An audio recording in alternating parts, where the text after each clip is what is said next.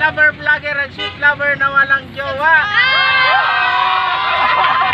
Shout out dito sa mga bago kong followers at subscriber.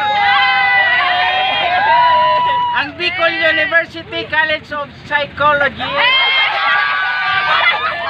Ayan, alam ko na nababasa na nila ang linalaman ng aking isipan.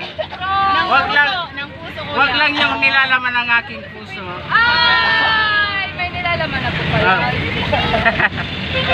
Ayan, ah, please subscribe Sweet Lover Vlogger Sa YouTube. sa YouTube and sa aking FB page Sweet Lover One Page. Ayan, isa-isa yung pangalan kay Present. Nandiyan na ba yung inintay natin? Wala pa? Wala po po. Okay lang.